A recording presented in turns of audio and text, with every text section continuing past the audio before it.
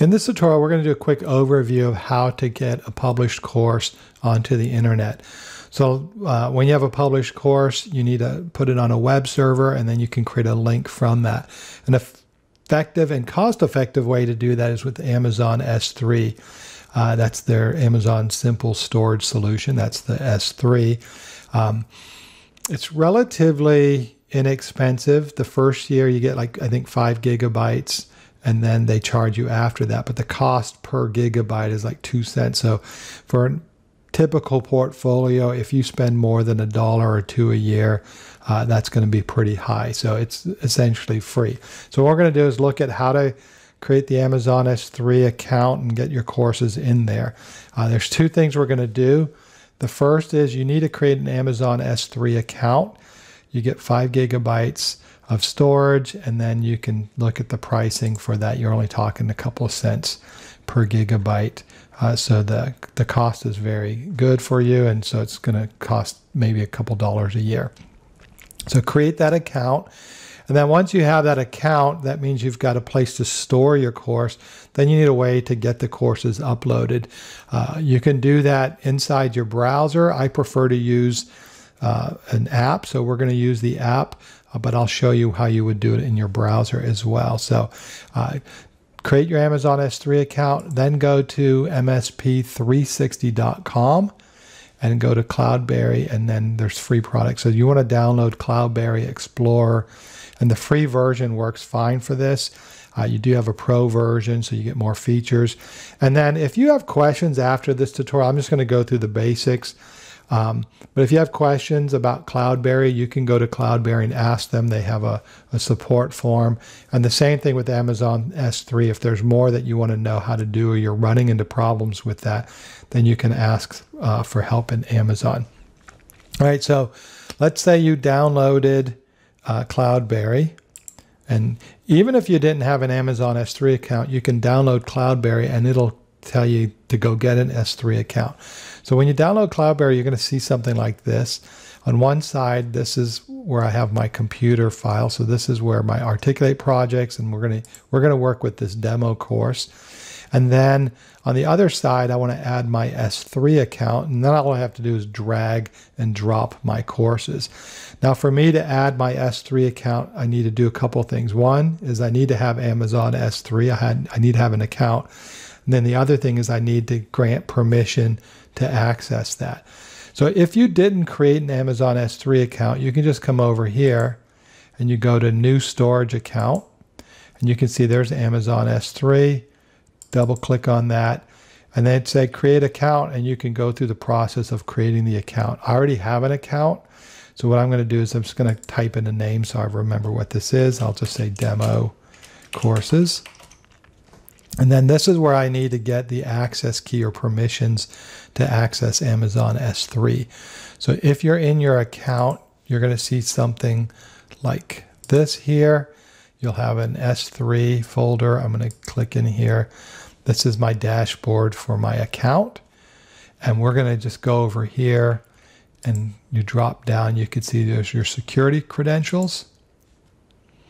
And then you can create an access key and a secret key.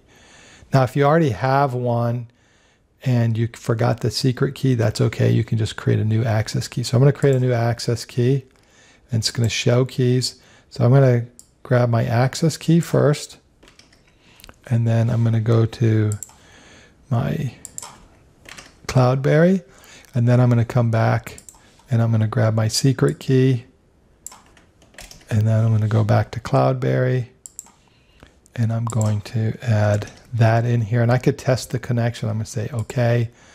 So there it is. Close that out. And then I'm going to access that here, demo courses. And if there was an error, I would know.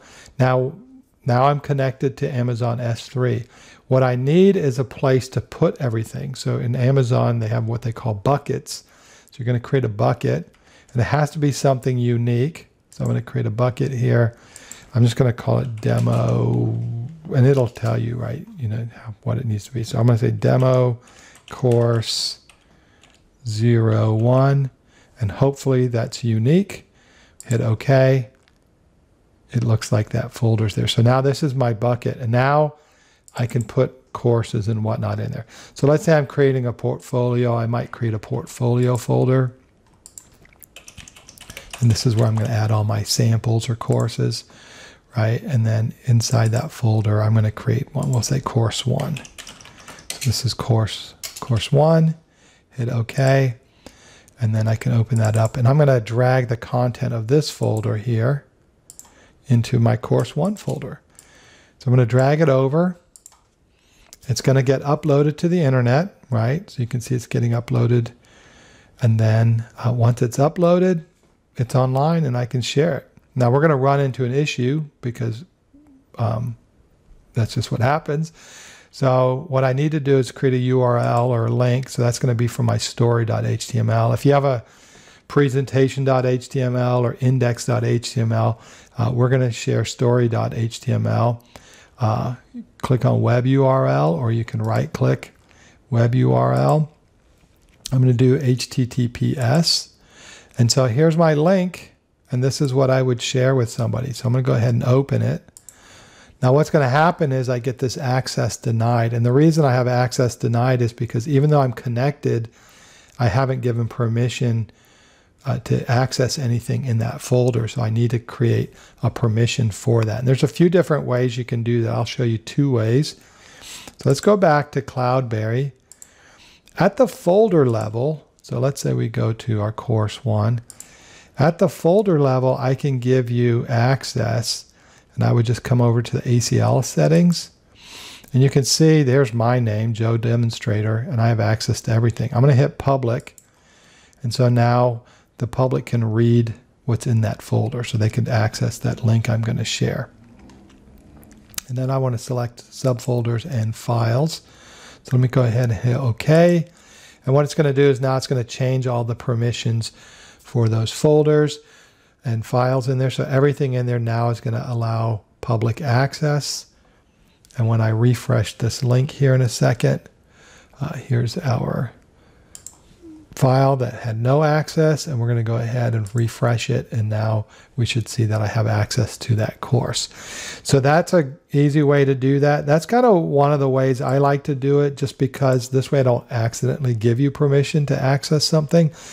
Um, so anytime I upload it, I just need to give you permission. Now that can be tedious. Like for example, if I come back to my portfolio, let's say I create a course two folder and then I have to drag everything over, right? I'm going to same thing. I'm going to drag everything over and then it's going to upload and then I'd have to give it permission again and that could be kind of tedious uh, to do that all the time. So what we could do is we can create a policy that allows everything that I put in a folder to um, to be publicly available. So if I come to this here, we're going to do web URL Let's open the link and we can see there's no access. So we're going to change that with a policy. So let's come back here. Let's go back to our root. And this is demo course one. That's our bucket. So if you select the bucket, you can create a bucket policy. So that's basically instructions on accessing the bucket in a simple sense, right? Now, I'm not a programmer. If you follow my instructions, that works for you. Uh, but if you do a search for bucket policies to access on Amazon S3, you're going to find all sorts of help. So in the Amazon S3, there's a bucket policies. Just do a search, and there's a generator, and then it'll generate the policy for you. So you don't need to be a programmer. So go ahead and select your type. This is an S3 bucket policy. We're going to allow uh, principal, just put asterisks in there. And then the action is we want to get an object. So let's go ahead and look for that get object. Now I'm doing the extent of what I know here. So if it doesn't work, then you're going to have to do it individually. So the ARN is your bucket information. Go back to your Amazon file here. That's not it. This is this is it right here, right? Let's close that out.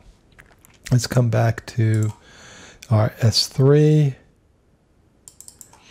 And we're going to find our bucket that we created, which we'll see in here, right? If I select this bucket, you're going to see copy ARN. Go ahead and copy that. And then we're going to come back to our policy generator and we're going to paste that in there. Now this is everything you need. The only thing we're going to do is add a slash and an asterisk. And then we're going to go ahead and add that statement. Now I have this one I did before. I'm going to go ahead and delete that. So we have the statement we just added. We're going to generate a policy and this is going to give the instructions for that bucket. So let's go ahead and copy that. Now we're going to come back to here. We're going to paste our policy. And if everything's okay, it should work. And we'll know it's going to work because we're going to look at that one course that didn't have access, right? So there's our policy. Let's come back to this course. Access was denied, but we changed the policy in our bucket. So let's see what happens when we refresh it. And there you go. So now anytime I put something in that uh, folder, I come back to my bucket and I'm put it, let's just do another course just to see if it works. Course three, hit OK.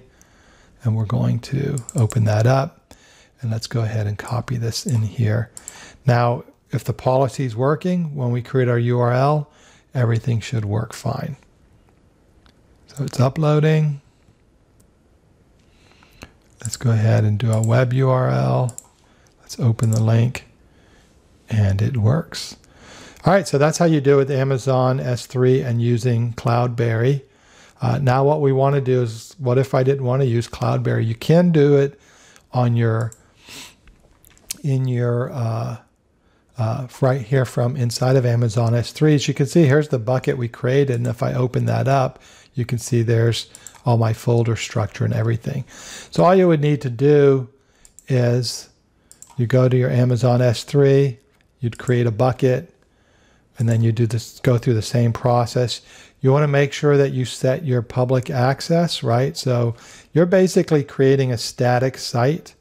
Um, so when you make it available for public, it's going to say, hey, blah, blah, blah, people have public access. And that's okay because it's a static website and then just acknowledge that. And then you can um, uh, save that and then create a bucket. And then you can, once you have a bucket, we'll come kind of come back in here. Once you're, once you have a bucket, then you can, you know, create folders or whatnot. So we're going to create another folder. We'll call this course four, right? Create the folder. And then I would just come in here and then I can upload and I can upload files. I can upload a folder. Let's just go ahead and upload that demo course folder and we'll upload that. Um, it's all here. Let's go ahead and upload. The one thing I like about the app, the Cloudberry versus doing it this way, the app seems to work a little faster and I kind of like I can see it better and I can move things and drag things around. I'm not jumping back and forth between the different tabs or links in here. But as you can see, everything's being uploaded and then you would um, go through your files and all that stuff and you can create a link from there. So we're inside our course four and then you're going to see uh, inside that demo course, here's your storyline file and then there's your link and whatnot. And sometimes when you do this, you may find that the permissions are off. So you probably have to go in and change the permissions on that. So that's just a matter of playing around with it. I kind of like, again, working with Cloudberry. I find that to be a lot easier to work and I can drag things from my desktop right into this and drag things in and out of that. So uh, hopefully that works for you. Super easy to do, relatively free, easy way to get your courses online and put in a portfolio or share on your website.